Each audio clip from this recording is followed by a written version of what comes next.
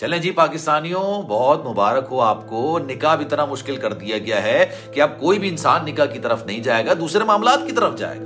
अल्लाह मियाँ ने हमें कहा है कि जनाब, निकाह आसान बनाओ, लेकिन हमने शायद, अल्लाह मियाँ को यह कह दिया कि हम निकाह इतना मुश्किल बना देंगे कि लोग निकाह की तरफ़ नहीं, दूसरे मामला की तरफ़ जाएँगे। क्योंकि आज मिनी बजट में यह कह दिया गया है कि शादी ब्याह के जो अखराजात होंगे ना, शादी ब्याह के जो बिल होंगे, उसमें दस फ़ीसद इजाफी विद होल्डिंग टैक्स लगेगा। यानी अगर आपका पाँच लाख का हॉल का बिल बनाए खाने का बिल बनाए तो उसमें आप पचास हज़ार रुपए और जोड़ लीजिए। तो सीधे तौर पे तो आप यही कह रहे हो ना कि भाई, निकाह को इतना मुश्किल बना दो कि निकाह हो ही ना। आप किसी और काम पे लगा दें पूरी कौम को। बोल उड़ाएगा, सबका होश, भूल जाएँगे, सब अपना जोश।